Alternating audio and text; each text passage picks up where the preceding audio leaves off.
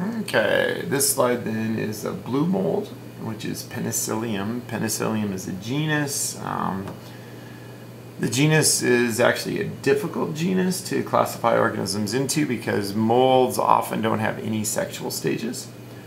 So the sexual stages then we're using to identify what division the organisms are in.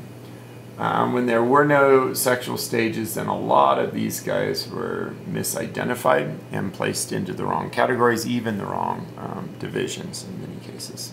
Okay. So we'll go in here. This is just a bunch of hyphae. There are no sexual spores in here, so we're not going to be able to see a basidium. We're not going to be able to see ascus, and we're not going to be able to see a zygosporangium. But we will look in here and look at the asexual spores underneath the um, compound scope.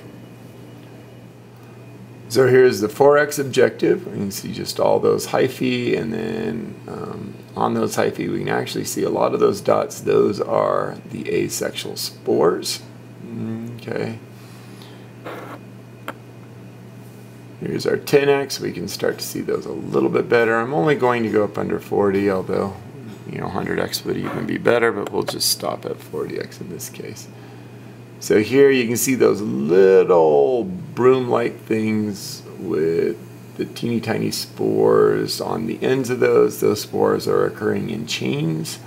Those chains of spores are called conidia, which you don't have to memorize or anything. And conidia is typically in molds a characteristic of um, the ascomycota although you can't guarantee that it's an Ascomycota just because it has those chains of spores in those conidia. Mm, okay, and that's penicillium.